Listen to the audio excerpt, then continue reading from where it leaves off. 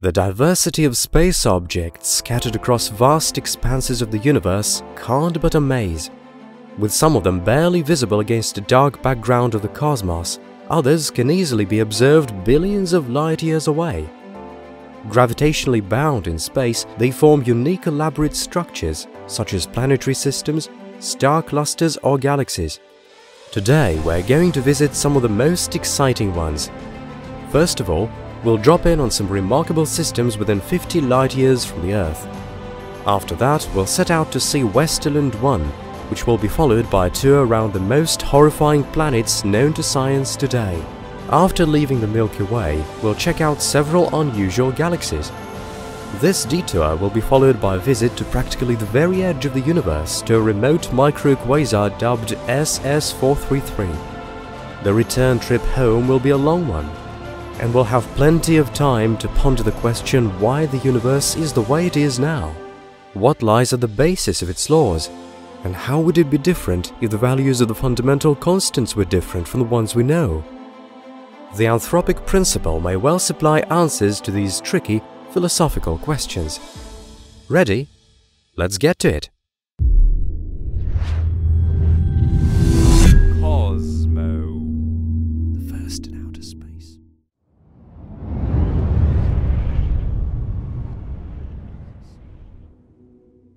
There are approximately 1,400 stellar systems in space within the radius of 50 light-years from the solar system. Some of them are multiple and contain two and more objects, which makes the overall number of our stellar neighbors over 2,000. These are all sorts of stars, from dim red dwarfs to dazzling giants whose temperatures are beyond our imagination. The incredible scale and great abundance of space objects in all their diversity can't but amaze. Life's too short to give account of each and every one of them. Right now, we're going to travel at incredible speeds, by far faster than the speed of light. It will take us just a few minutes to cover dozens of light years of space. We'll get to check out quite a few remarkable space objects around the solar system. Other worlds and stars are already waiting. After we fly round Proxima Centauri, a detour of 11 light-years that would have passed in the blink of an eye, we're in the environs of the dim red dwarf known as Ross 128. We can't see it from the Earth with the naked eye. Unprepossessing though it may seem, there is an Earth-like exoplanet dubbed Ross 128b orbiting this star. This exoplanet is one of the closest to us. Unlike the yet closer and cooler Proxima Centauri b, the temperature on Ross 128b is relatively moderate, ranging from minus 60 to plus 21 degrees Celsius. Assuming its surface to be identical to that of our planet, which absorbs 70% of the light shed on it, the equilibrium temperature of Ross 128b is estimated at around 7 degrees Celsius. It is 8 degrees cooler than that of today's Earth, but quite enough to sustain life. The exoplanet's mass is roughly 35% bigger than that of the Earth. The radius hasn't been accurately measured at this point, but provided the planet's composition is similar to our Earth's, its diameter is supposed to be roughly 10% bigger than that of the Earth. The freefall acceleration on its surface is expected to be just 12% bigger than that on our planet. If all these estimations are correct, then the conditions on the surface of Ross 128b are supposed to be comparable with those on the Earth. Besides, the system is rapidly moving to meet the Sun. In just 79,000 years it will be closer to us than Proxima Centauri, which is moving away from us. Quite like most exoplanets we know of, Ross 128b is located quite close to its host star. The distance from it to the center of the system is just 0.05 astronomical units, or 20 times shorter than the distance between the Earth and the Sun. It takes the exoplanet slightly under 10 days to complete a full orbit around its star. It is also thought that it must be tidally locked. Speaking about its host star, Ross 128, its mass is approximately 17% that of the Sun, with the radius measuring around 0.2 that of the Sun. The star's surface temperature is twice as low as that of the Sun, at 3192 Kelvin, and its luminosity is roughly 300 times lower than that of the Sun. It's worth mentioning that Ross 128 is a comparatively quiet star. With its luminosity quite stable and regular, it hardly ever flares up or emits stellar matter, so pernicious for all living things. Moving on through space, 12 light years in the direction pointing away from the Sun, we will see Luyten's star, also known as GJ273. It boasts one of the largest planetary systems detected in the space nearest to us. The star itself is a red dwarf of an orange hue, whose mass is just 25% that of the Sun. Its radius is three times smaller than that of the Sun and its luminosity is 435 times lower, so it's hardly surprising that it can only be seen through a telescope. It is quite an exciting star, because there are as many as four objects detected in its environs, two of which are confirmed exoplanets. The other two are still prospective candidates, awaiting confirmation. The first confirmed exoplanet was dubbed Luyten B. It was detected thanks to high-precision measurement of the star's proper motion. The object's mass is estimated to be about 2.89 times that of the Earth. Its radius is 35% bigger than that of our planet. This makes the object a super-Earth, and its surface gravity may turn out to be suitable for humans. The distance between the system's center and Luyten B equals roughly 0.1 astronomical units, although the amount of light received by the exoplanet from its parent star is comparable with that received by us from the Sun. Thus, Luyten B lies in its star's habitable zone and may well be considered a potential candidate for searching for alien life. The equilibrium surface temperature of the planet is 259 to 292 Kelvin or minus 14 to plus 19 degrees Celsius. This makes the conditions on Luyten B quite suitable for humans. The other confirmed exoplanet in the system is Luyten C. With this space object's mass similar to that of the Earth, it lies much closer to its host star. The exact parameters of its orbit haven't been defined yet, but it is known that it takes the object just 4.7 days to complete a full orbit around its system's center. It is likely that this is a scorching hot and harsh celestial body without any atmosphere, with one and the same side facing the star at all times. The two other objects in the system were discovered in 2019 and are still awaiting confirmation of their status. According to preliminary estimates, they are ice giants with masses from 5 to 15 times that of the Earth. With the radii of their orbits lying within 0.8 astronomical units, their orbital periods cannot be over 558 days. Luyten is a relatively cold star, and with these two objects lying beyond its habitable zone, their temperatures are almost certainly extremely low. It goes without saying that at this stage, these two candidates still want further exploration.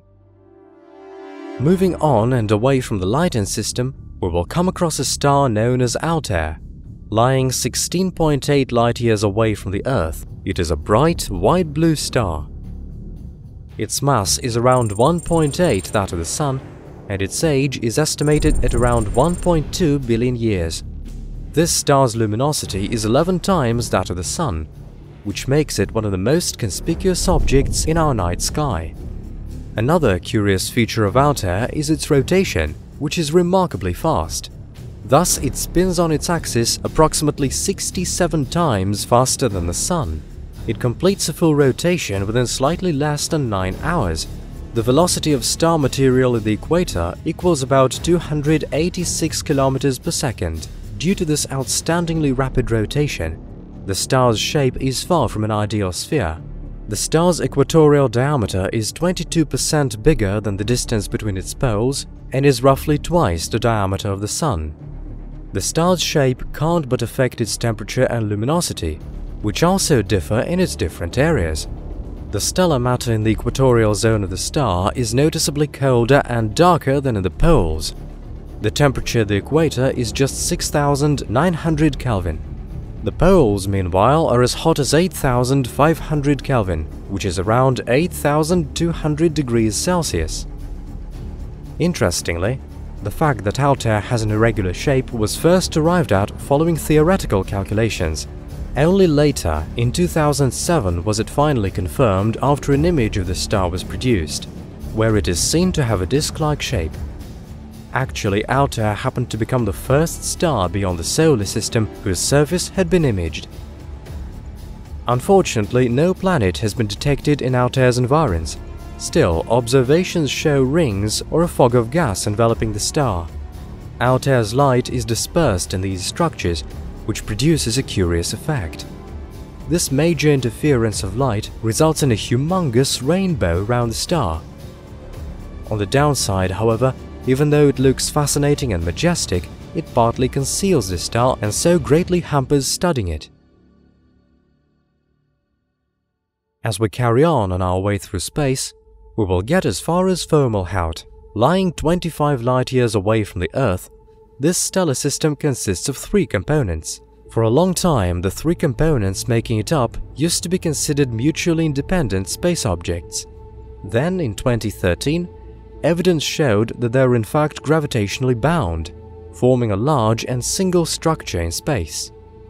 Fomalhaut is probably the widest multiple star system located close to ours, the biggest distance between its components reaches 3.2 light-years. Incidentally, almost 11 lunar disks may be placed in our night sky between the remotest objects in the Fomalhaut system. The largest, most well-known and well-seen component of the system is referred to as Fomalhaut A.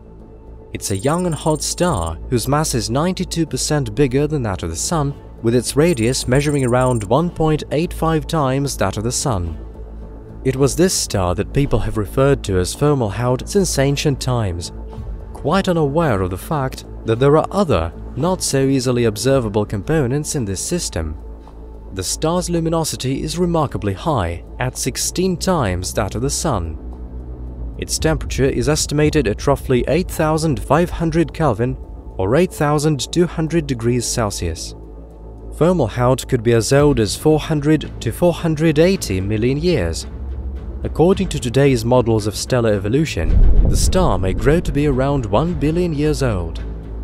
On reaching this age, it will more likely than not go supernova and turn into a white dwarf. Fomalhaut A is surrounded by a disk of protoplanetary gas and dust. Divided into several segments, its inner radius is 133 astronomical units, with a width measuring about 25 astronomical units. This disk is thought to be an active stellar nursery, with celestial bodies regularly born there. That is why it is an area of keen interest for astronomers. It used to be thought that there was a massive planet lurking somewhere in Fomalhaut's environs. It was even given a name, Dagon. However, further observations showed that there was hardly any planet there after all. It must have been a wide cloud of dust that was taken for an exoplanet, it would have originated on collision of asteroids and comets. 0.9 light-years away from the main component of the system, there lies Fomalhaut b, also known as TW Piscis Austrini. It's an orange dwarf with a mass around 70% that of the Sun, with its radius roughly 63% that of the Sun. The star's surface temperature is estimated at approximately 4700 Kelvin, which is 4400 degrees Celsius. Interestingly, the star's luminosity is much lower than that of the Sun. Our host star is five times brighter. In 2019, on carrying out spectral and proper motion analysis, scientists put forward a suggestion that there might be a celestial body as heavy as 0.6 to 1.9 Jupiter masses orbiting the star.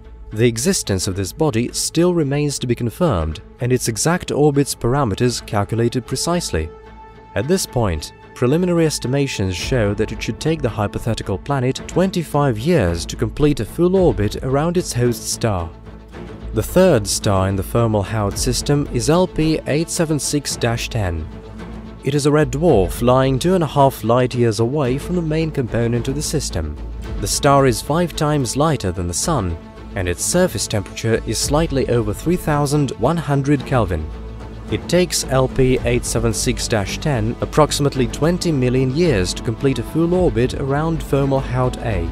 Apparently, the red dwarf would have orbited its big brother just 22 times since the birth of the system.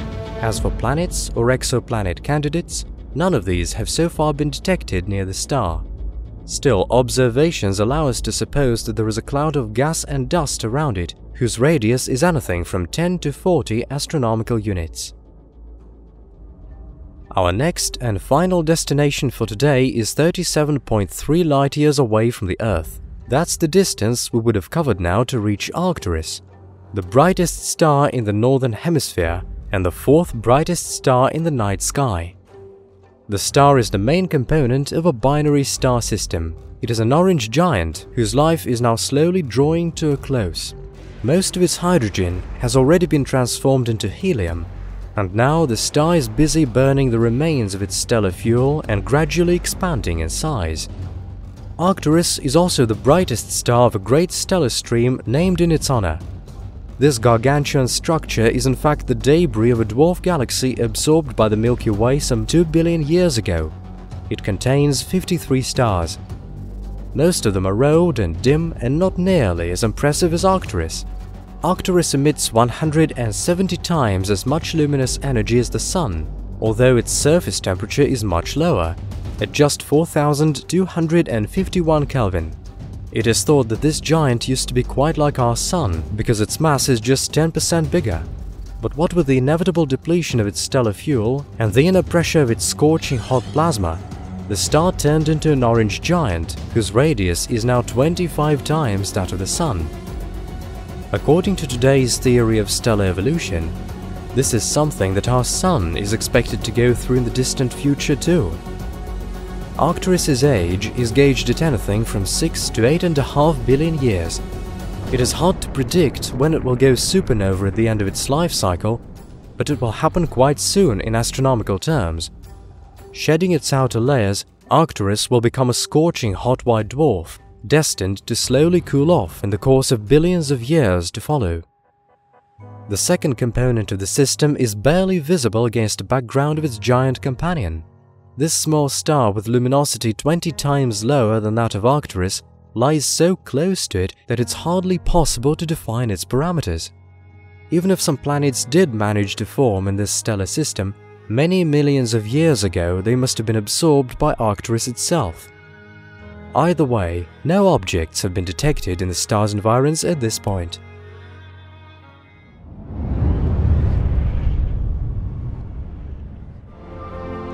A star cluster is a group of stars which formed from one and the same gigantic cloud of interstellar matter. These stars are practically identical in terms of their chemical composition and age. The system they form is bound by gravity forces. Star clusters fall into either of these two categories, which are the main varieties, open and globular clusters. Open star clusters are products of stellar nurseries evolution the latters are areas of cosmic gas where stars are actively born. That is why the clusters here are mainly comprised of young stars and great amounts of interstellar hydrogen. Gravity forces between them are comparatively feeble, which leads to an open cluster's disintegration several hundred million years after its formation, which of course is mere seconds in astronomical terms. Some of its former members still stick together in their joint movement in space thus forming a stellar stream, while others break away from their group to become sole masters of their own destiny. Over 1,100 open star clusters have been pinpointed in our galaxy, and incidentally, it appears to be just a tiny portion of their overall count. Globular clusters are larger and denser than open ones, and consist of old and not very massive stars. The average distance between the stars there is 4 to 6 light months. As for their masses, these may reach a million times that of the Sun.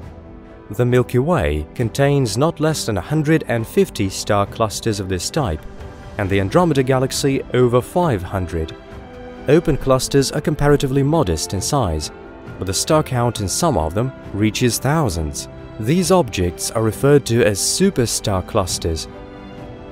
The largest of them are thought to eventually turn into globular ones, all it will take is waiting around for a few billion years or so until the most massive stars there have burned out and exploded. One of the largest superstar clusters in our galaxy is one referred to as Westerlund 1. It was spotted back in 1961 by Swedish astronomer Bengt Westerlund, but for a long while remained largely understudied as it is quite difficult to observe The distance from the cluster's center to the solar system has been estimated at approximately 10,000 to 15,000 light-years. Staggering though this figure may seem, Westerlund 1 is in fact one of our closest superstar clusters. That is why it is crucial to observe it, to bring our understanding of stellar evolution processes to a whole new level. The diameter of Westerlund 1 measures around 7 light-years. Astoundingly, this area, which is really tiny in astronomical terms, is literally crammed with thousands of stars with a total mass of about 63,000 solar masses. Some straightforward calculations show the distances between the major members of the cluster are just several light months. As for binary system components, they are much closer to each other than that. Due to incredible density of the stars in the cluster and the clouds of interstellar gas the stars are shrouded in, it is impossible to distinguish the exact sources of light here, as the thousands of stars this light comes from are too densely packed. This greatly interferes with observations and doesn't allow the observer to count the stars. That is why the exact star count in Westerlund 1 remains to be gauged. Among them, the following types of stars have already been pinpointed. 6 yellow hypergiants, 4 red supergiants, 24 Wolf-Rayet stars, and a supergiant with a highly peculiar emission spectrum. Supposedly, it formed on collision of two massive stars. In addition, there is a great number of hot blue giants and an X-ray pulsar discovered among the stars in the cluster. The pulsar is an anomalous object, a neutron star spinning with a mind-boggling speed. The binary star count is also quite high in Westerlund 1.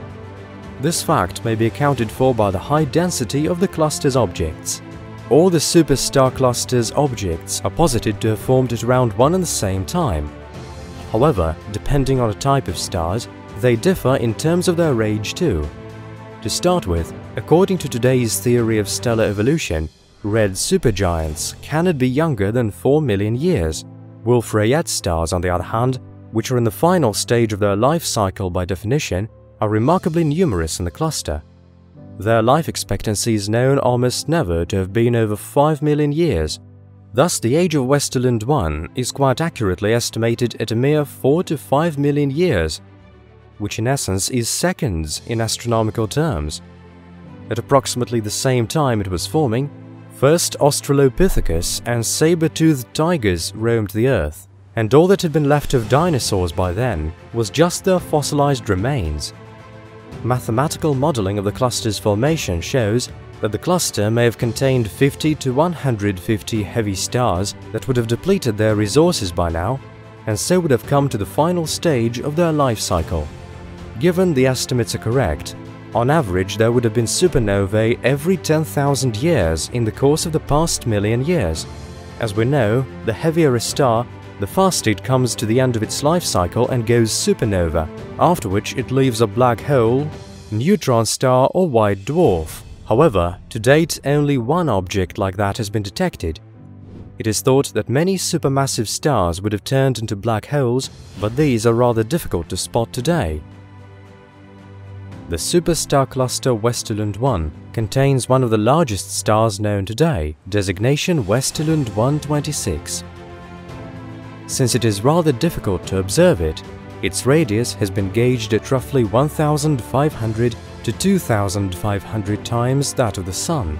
If its radius is closer to the bigger margin, Westerlund 126 may be the biggest star known to mankind. However, the radius is more likely to lie closer to the lower margin and measure slightly over 1,500 times that of the Sun. Even so, if its center were to be theoretically placed in that of the Sun, Westerlund 126 would cover all the planets, reaching as far as the orbit of Jupiter.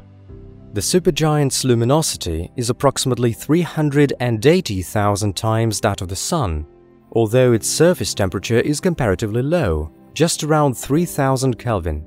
The star's mass hasn't been gauged yet, but today's perception of stellar evolution allows us to assume that it may be around 20 solar masses.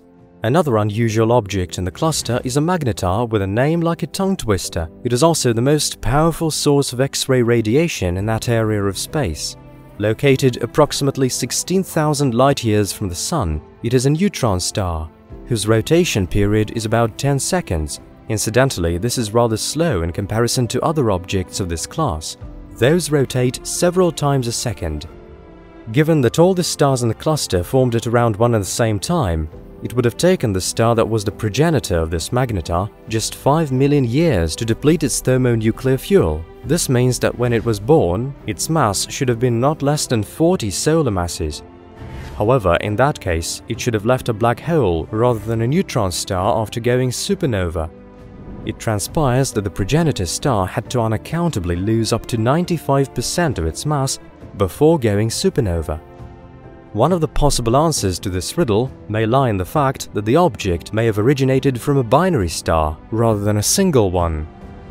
By spinning around their common mass center at an astounding rate, the system's components had a chance of actively exchanging material. At some point, the supernova would have scattered most of this material in the space around it, while the second component would have been ejected from the system. The star Westerlund 1-5 which is located comparatively close to the magnetar, may well have been that very component, although it is not certain.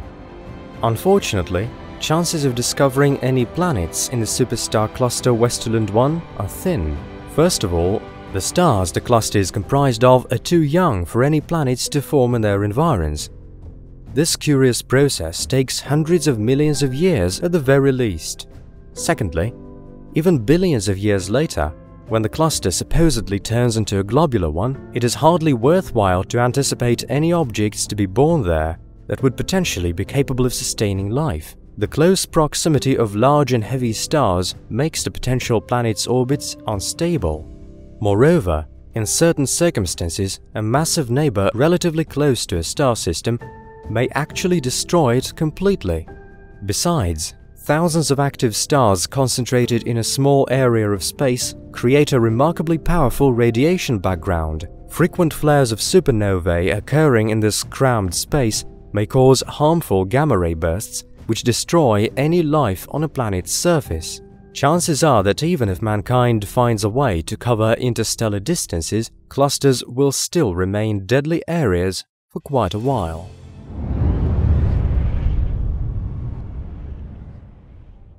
Shortly before Halloween in 2020, NASA compiled a list of the most terrifying worlds. Among others, they included six exoplanets. Each of these objects' environments is not just extremely harsh for any living organism, even finding oneself in their comparatively close proximity may prove to be fatal. The first object on the list is a black gas giant, designation TRES-2b. This celestial object orbits the star TRES-2, which is a yellow dwarf lying as far as 718 light-years away from us.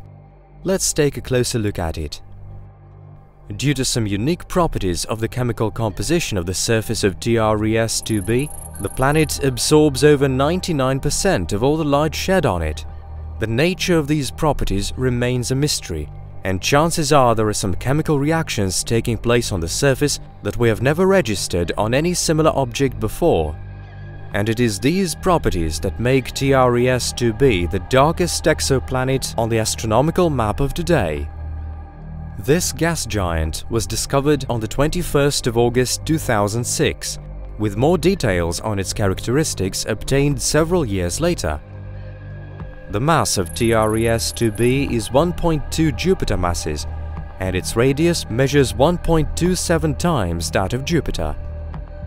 The atmosphere is as scorching as 1000 degrees Celsius, which gives the exoplanet a faint red glow like that of embers. Still, in spite of its gloomy looks, TRES-2b doesn't really qualify to be called the most dangerous place in the universe. There are many more objects lurking in space that are more terrifying than that. Let's see some more inhospitable ones. Here is another exoplanet, designation 55 Cancri E. It lies in the system of a Sun-like star, designation 55 Cancri A. This celestial object was discovered on the 30th of August 2004 by the Doppler spectroscopy method. Let's look at it in more detail. The planet's mass equals approximately 8 Earth masses, and its radius measures 1.875 that of the Earth. 55 Cancri e is tidally locked, and so it is always daytime on one side and nighttime on the other. That is why the side facing the host star is always heated up to a temperature reaching 2400 degrees Celsius, with the temperature on the night side 1300 degrees Celsius. These values are so high because the distance between the planet and its parent star is just 0.0183 astronomical units. Besides, volcanism on 55 Cancri e, which is thought likely to be there, causes dust clouds emissions. These clouds trap heat and effectively prevent it from escaping into space. The planet's orbital period is slightly under 18 hours, as for the atmospherical makeup, there is helium and hydrogen registered in it. There are also large amounts of carbon. Incidentally, this element is likely to form thick layers of graphite and diamonds in the planet's interior. 55 Cancri e isn't the only object in the planetary system of its host star. There are four other celestial objects orbiting it. The environments on these are by far more hospitable, which is the feature by which the 55 Cancri A system differs from the following object.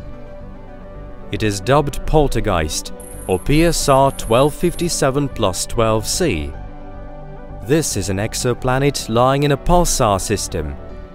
The celestial object is located just 0.36 astronomical units from the system's center. This shows that Poltergeist wouldn't have survived a supernova that must have taken place before the pulsar had been formed. Consequently, the exoplanet is likely to have formed after this tremendous event, with the material for it coming from the nebula left after the explosion. According to another hypothesis, the pulsar may have formed after the merging of two white dwarfs. Unlike with a supernova, this process isn't always accompanied by a powerful blast. Still, as this is the first object of its kind we have discovered, science cannot give a definite answer as to its origins. The system with the celestial object lies 2,300 light-years from the Earth. Its mass is approximately four times that of our planet. As for its orbital period, it is around 66 days. Incidentally, the outstandingly powerful radiation emitted by the pulsar is enough to crumple any spaceship wanting to approach the mysterious exoplanet in its system. Even with all these properties taken into account, Poltergeist does not really qualify as the most dangerous exoplanet known to us. On approaching it, an astronomical body may simply get destroyed, but it would get positively vaporized in close proximity to the following object. The reason for this effect is the extremely high temperature on Kepler-70b, which is the hottest exoplanet known to us. The object orbits the subdwarf star Kepler-70. With a surface temperature higher than that on our Sun, it reaches 6800 degrees Celsius. The object's mass equals 0.44 Earth masses, and its radius measures 0.76 that of the Earth. The celestial object's orbital period is 345 minutes. In other words, a day here is less than 6 hours long. Interestingly, the exoplanet regularly passes another object in the system, Kepler-70c, at a distance of 240,000 kilometers. To date, this is the closest that planets in space have been registered to pass each other. The extremely high temperature on Kepler-70b could be accounted for by the fact that this object may once have been part of its parent star. As for giving it the status of an exoplanet, it will take more evidence to confirm that it deserves to be given it, so this remains an open question. It should be mentioned that Kepler-70b is not the only celestial object we know of that interacts with its parent star so closely. Another object in similar conditions is the exoplanet known as WASP-12b. This celestial body lies 870 light-years away from our system. Its radius measures 1.93 times that of Jupiter, and its mass equals 1.46 Jupiter masses. WASP-12b is just 0.03 astronomical units away from its parent star. Due to this close proximity, the exoplanet has a temperature reaching as much as 2200 degrees Celsius. The host star's extremely powerful gravitation slowly absorbs WASP-12b. Eventually, in approximately 10 million years' time, the exoplanet is expected to be destroyed completely. Bearing all this in mind, we will probably never delve any deeper into the nature of this exoplanet. It would appear that studying worlds of this kind cannot be high on scientists' list of priorities. However, some of these objects may happen to have some really unique features. Seemingly quite plain and ordinary, worlds like that may conceal many more dangers than would appear at first glance. When flying past the celestial body HD 189733b, for example, one might complacently think it a safe planet, as it resembles our Earth by its looks. But if one were to get as low as the level of its atmosphere, one would be exposed to some life-threatening dangers. For a start, the object's winds carry particles of silicate and develop velocities of 8,700 km per hour Besides, the rains on this planet cause precipitations of molten glass. The reasons for such hazardous weather conditions are extremely high temperatures and the atmosphere's peculiar chemical composition. Speaking about the exoplanet's orbital period, it is approximately 2.5 days.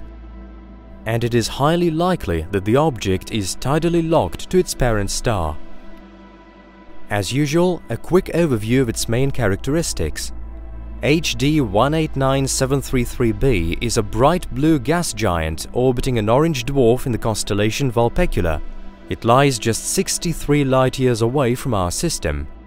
The object's diameter is 1.1 times that of Jupiter, and as for its mass, it is 113% that of Jupiter. Interestingly, the distance between HD 189733b and its star is 30 times less than the distance between the Earth and the Sun and equals approximately 5 million kilometers. Due to its close proximity to the parent star, it has a constant surface temperature of as high as around 930 degrees Celsius on the day side, with the temperature on the night side never dropping below 425 degrees Celsius. Immediately on being discovered, the celestial body became a subject of investigations. In 2007, thanks to data obtained by the Hubble telescope, scientists found out that HD 189733b has a foggy atmosphere. Interestingly, when the planet transits between the observer on the Earth and its star, its atmosphere assumes a reddish hue. This effect could possibly be caused by the haze in the atmosphere, According to preliminary estimates, it consists of particles of iron, silicates and aluminium oxide. Apart from that, the information beamed back by the Hubble telescope helped scientists establish that the planet's atmosphere contains water vapor, neutral oxygen and an organic methane compound. Additional investigations revealed the presence of carbon monoxide on the day side of the planet. What prompted most questions, however, was the results of investigations revealing traces of methane of an unusual variety in the planet's atmosphere. This chemical element was shown to be in a peculiar fluorescent state when it emits electromagnetic radiation in the infrared range. This state of the substance is indicative of some unknown activity in the atmosphere of the exoplanet, which still remains to be found out. This is quite a clear-cut example of a situation when investigating an object like an exoplanet with an exceptionally harsh environment may yield unexpected results about some processes taking place there that will be a valuable contribution to science. And as the process of studying these worlds continues, they will remain no other than horror planets to us, as well as a solid reminder that we're more than just lucky to be the dwellers of our Earth.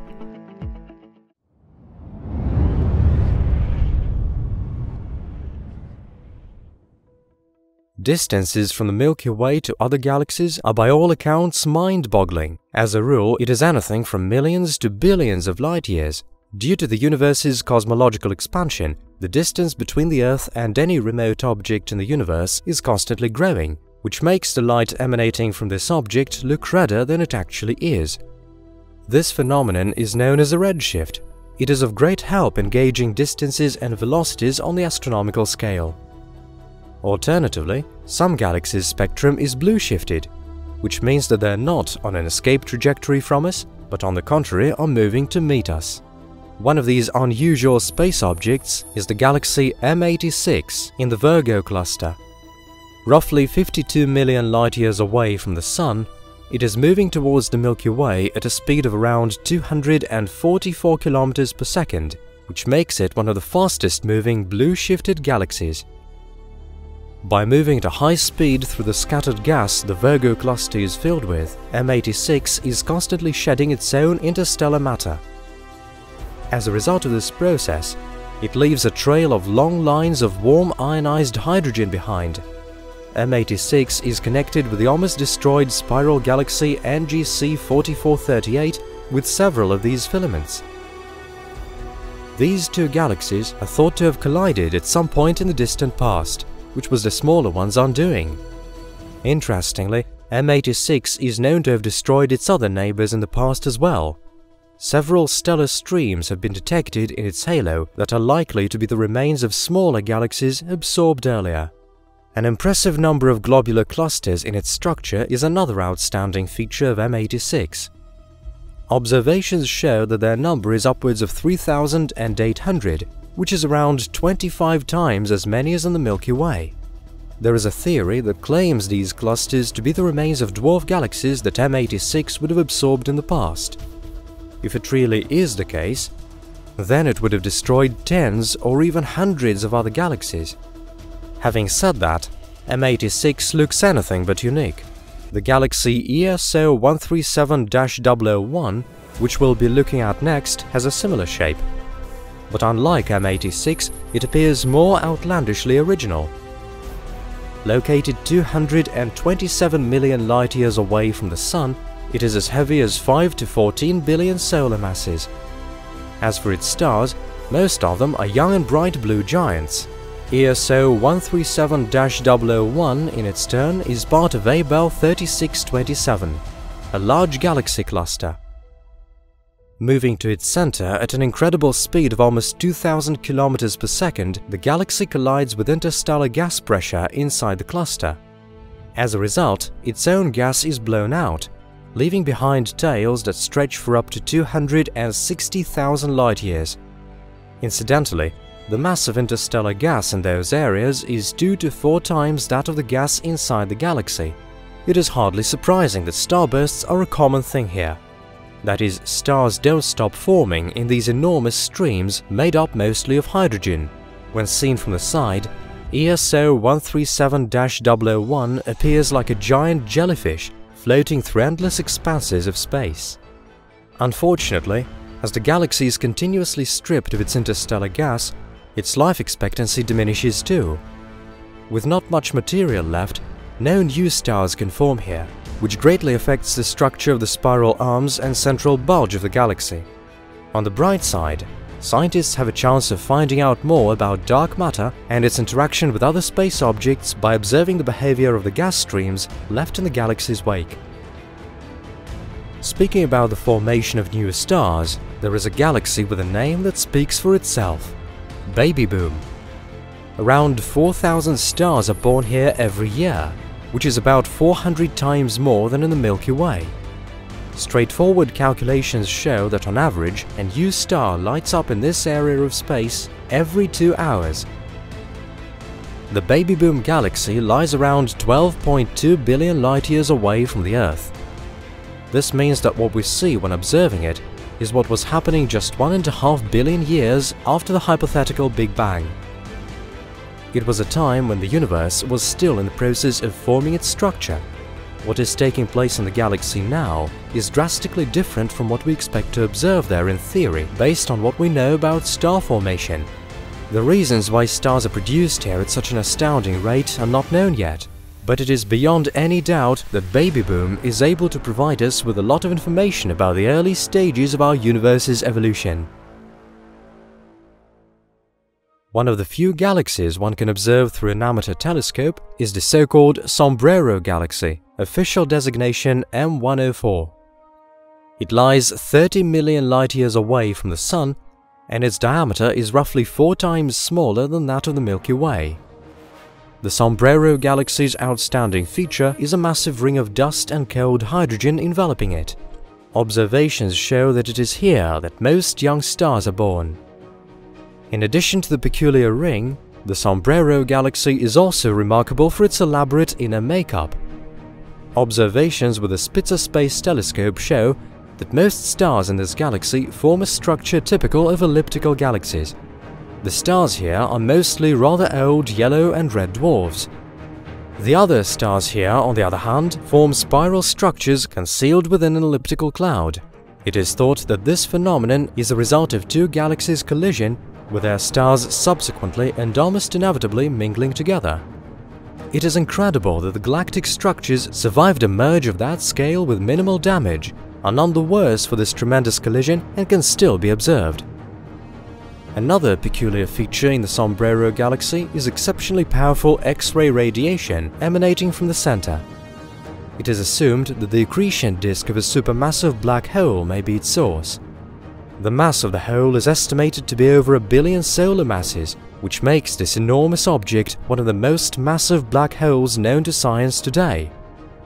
There are also several sources of tremendously high frequency or terahertz radiation detected within the galaxy, although today their nature is still a mystery.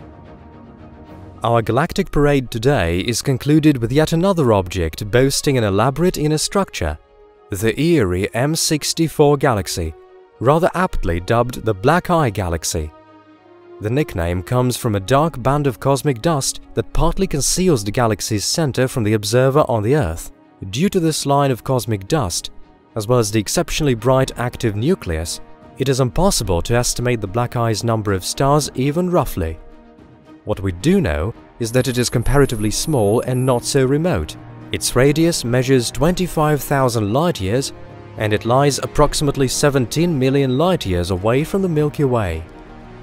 The Black Eye Galaxy is made up of two well-defined parts. Interestingly, the inner disk with a bulge rotate in the direction opposite to that of the outer ring. The most likely explanation for such a bizarre makeup is that the galaxy formed after two smaller ones collided and merged in the distant past. Admittedly, it would take a combination of a number of mutually independent factors for such a fascinating and well-defined structure to form. For example, the progenitor galaxies would have moved at specific velocities and come together at a certain angle. The odds of a success would have been minuscule.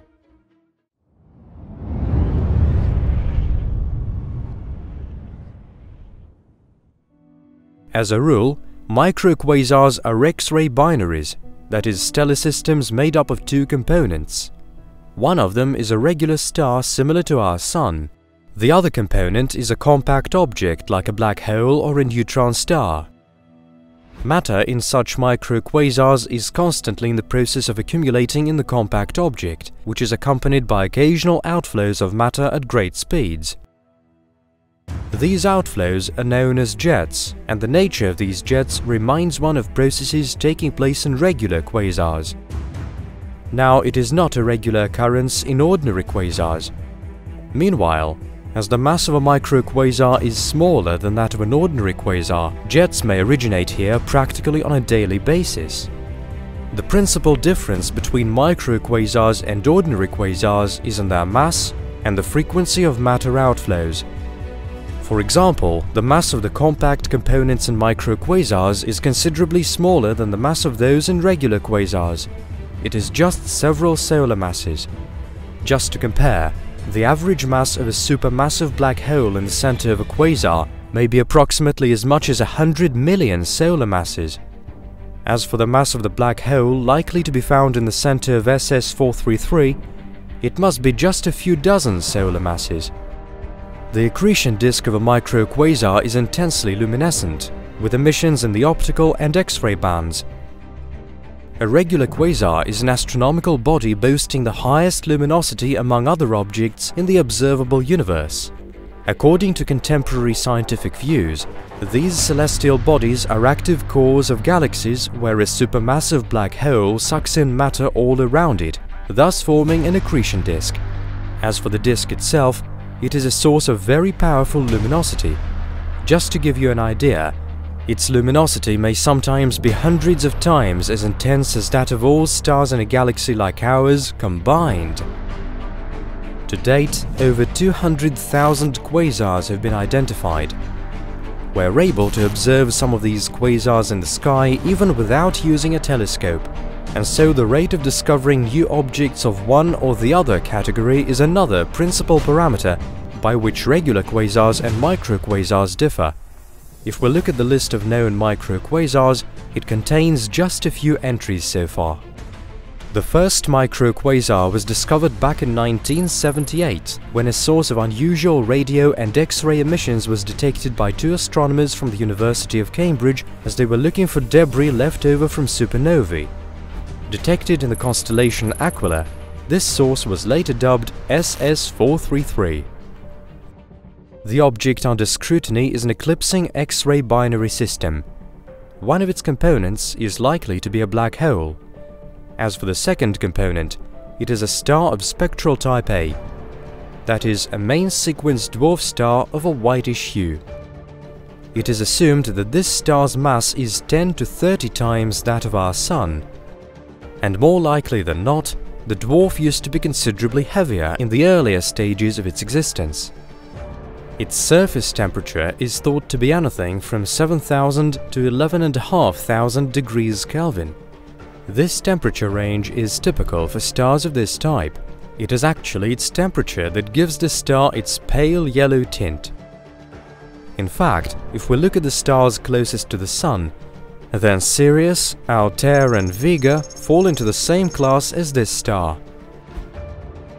SS433 is located within the supernova remnant W50, sometimes also called the Manatee Nebula. The age of this nebula is estimated at approximately 20,000 years, and the distance between the nebula and the Earth measures about 18,000 light-years. The jets from SS433 distort the clouds surrounding the W50 nebula. According to a certain theory, the W50 nebula and the microquasar SS433 are actually related, and came to be as a result of one and the same supernova event, which supposedly took place around 20,000 years ago. It takes either of the two objects in the system 13.1 days to orbit the common mass center. In fact, the way the SS433 system works is quite exciting, with both components constantly interacting with each other. Matter from the second component, that is the regular star, flows to the first component, or the primary, supposedly a black hole, thus forming an accretion disk around it. As it spirals, the matter heats up to extreme temperatures and emits X-rays. Some part of this matter leaves the system in two jets at the rate of approximately 26% of the speed of light. That is 79,000 kilometers per second. In 2019, thanks to the ALMA Observatory, astronomers managed to get detailed images of SS433. It was clear from the emission structure that the microquasars' jets themselves are rather narrow and their shape is irregular and has nodes. Further studies of the object showed that the shape of the jets is distorted as a result of precession, that is a process when the jets slowly rotate on their axis as they spiral the diameter of either of the two jets ejected from the microquasar in two opposite directions measures approximately 5,000 times the diameter of the Solar System. As SS433 is relatively close to the Earth, it is particularly valuable to scientists studying the phenomenon of microquasars. Images beamed back by the ALMA Observatory showed its jets for the first time and it also helped establish that the direction these jets point at is never the same. Just like a top, the spinning toy gradually slows down, they too rotate on their axis, which is perpendicular to the plane of the accretion disk. The ALMA images boasted another outstanding feature. The shape of SS433 was predicted in fine detail thanks to spectroscopic measurements that had been done in 2018 using the Global Jet Watch telescopes. And so the actual shape largely corresponds to the new images, where SS433 is really seen to have a shape reminding one of a corkscrew. It isn't a rare occasion when jets like that originate here or there in the universe. As a rule, jets of plasma, also known as relativistic jets, are spewed out of the centers of active galaxies, quasars and radio galaxies. When this occurs, there are usually two jets as such, pointing in the opposite directions. And this is exactly what we can observe in the case of SS-433. Today, the phenomenon of jets like that wants deeper studying. It is believed that jets originate following the interaction between magnetic fields and the accretion disk around a black hole or a neutron star. As for their size, it may be staggeringly enormous. In the case of the radio galaxy 3C120, for example, the jet stretches for at least several kiloparsecs away from its source. It is highly probable that in the future the regular star in the SS-433 system will shed its outer layer completely as a result of the influence of the compact object. Its core, meanwhile, will remain hot, and thus the star will qualify to be called a hot subdwarf. Later, the star is to be gradually sucked in by the black hole, and sooner or later, after this process is completed, the SS-433 system will assume a classical look, it will comprise just the compact object. The process of this system's evolution will of course continue for thousands of years, so we have plenty of time to study this phenomenon. And while the microquasar SS433 is active, we will have many opportunities to carry out detailed observation that would help us understand the nature of this celestial object. Let's keep in touch.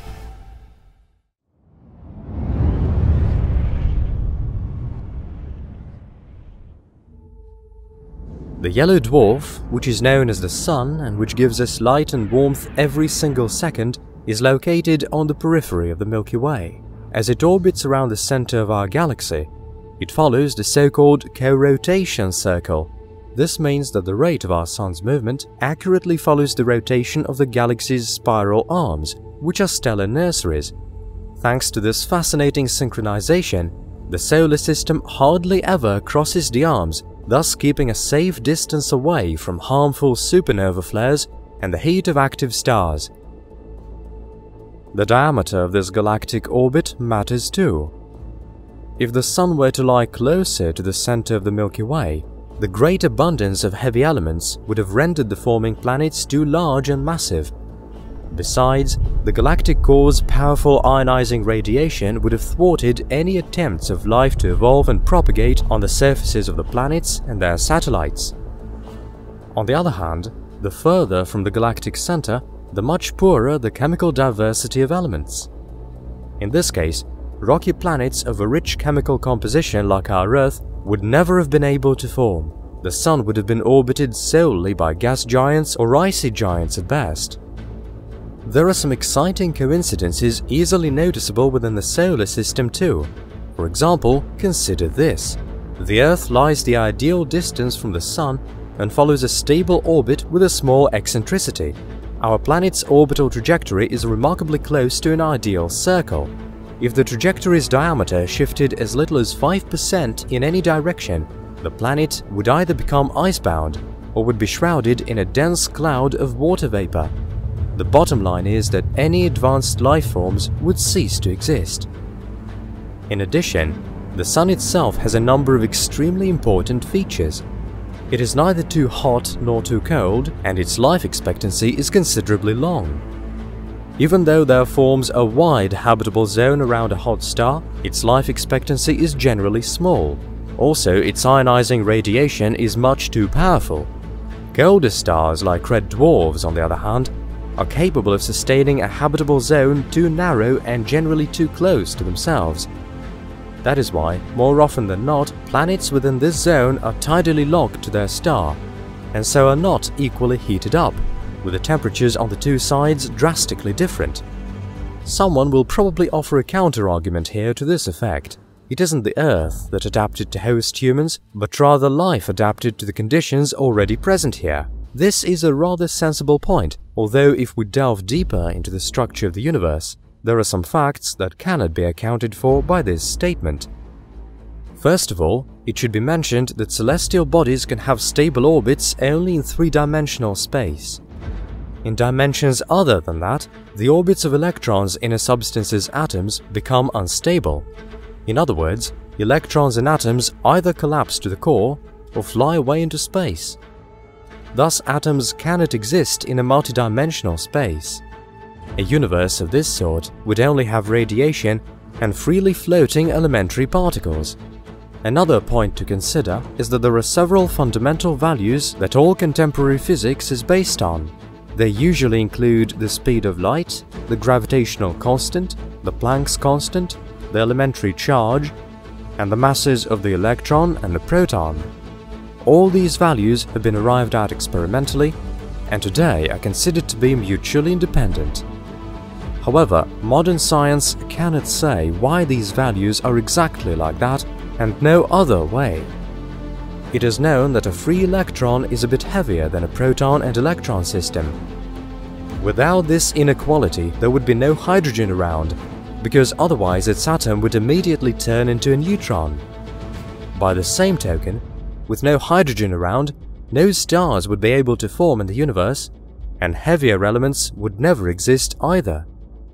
With the values of the Coulomb interaction and the powerful interaction slightly different from those gauged today, no thermonuclear synthesis reactions in stars' interiors would be possible.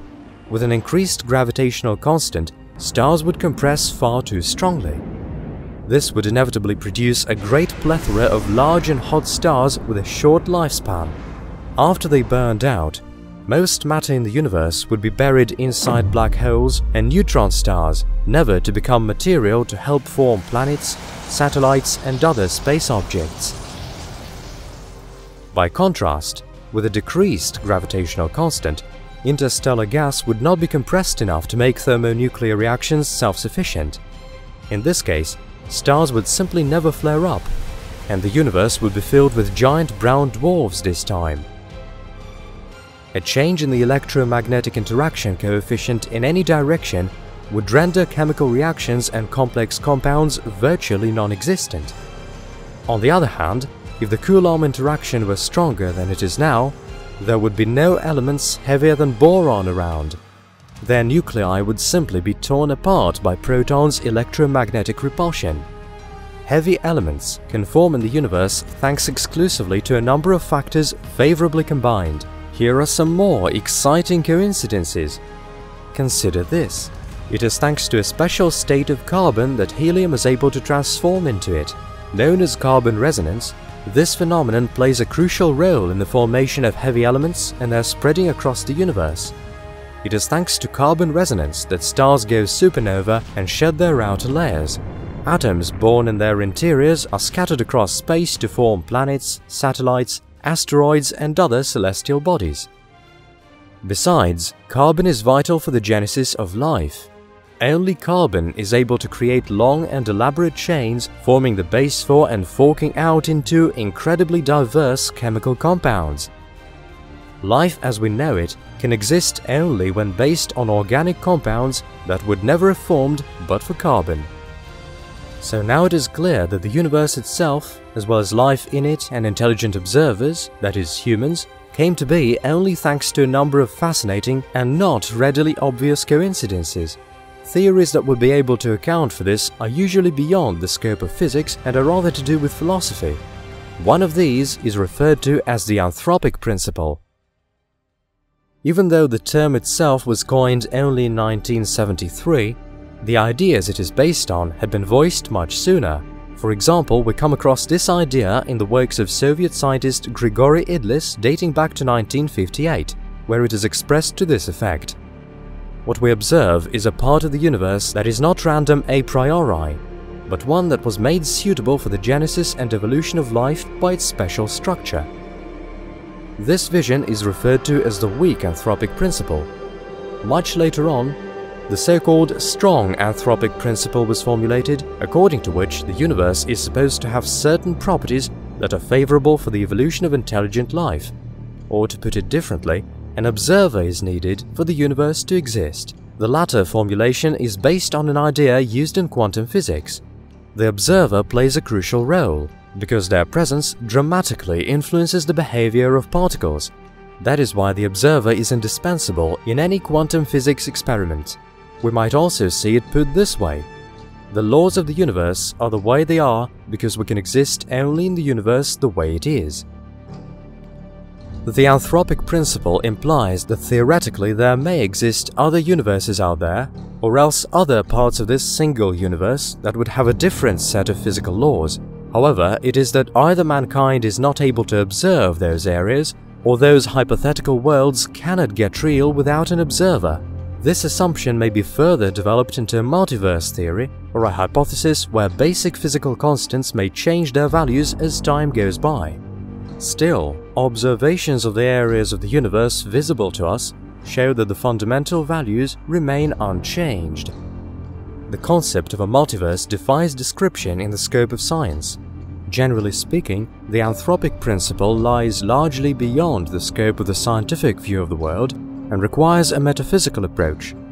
Stanislav Lem commented on this to this effect. It's an attempt to account for the unknown using the unknown. Also, it is evident that the anthropic principle clashes with the mediocrity principle. The latter states that the area of space observable to humans isn't anything extraordinary, and there would be lots and lots of similar stretches within the universe. The Milky Way, for example, doesn't boast any particularly unique structural features and its position in the large-scale structure of the universe doesn't particularly stand out among billions upon billions of other galaxies. In addition, there is the principle of space homogeneity accepted in contemporary physics, which means that natural laws are really the same from point to point in space. The correctness of this postulate is confirmed by countless observations of the world around us. Mankind has been stirred by these questions since times immemorial. Are we alone in the universe? Is our home planet unique? Or rather more Earth-like worlds in the Milky Way? Or is what we see just a kind of backdrops, with whatever there is behind them being something incredible that would defy our understanding and therefore appears to be carefully concealed from us by the universe? Science cannot give satisfying answers to any of these questions yet, otherwise it would probably bring about a downright revolution in our perception of the world and upgrade our cognition to a whole new level. As it is, everyone is entitled to their own personal opinion. Unfortunately, space tours like that will be confined to science fiction for a long time. We're virtually just scratching the surface in space exploration, and the future definitely holds lots and lots of amazing discoveries both in the solar system and beyond. Every new step forward gives answers and prompts yet more questions. And this is the way the ultimate puzzle, the universe, is slowly being put together piece by piece.